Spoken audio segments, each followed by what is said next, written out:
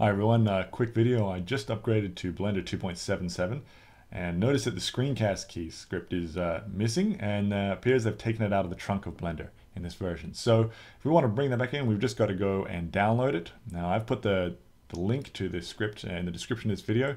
Alternatively, if you're without an internet connection at some later date, you can find it uh, in the documentation, right? The current version download. Of course, you won't be able to access it if you don't have an internet connection, so that's quite the quandary you'll be in.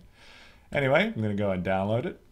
Uh, navigate there, right click, save as, save the Python script to my desktop.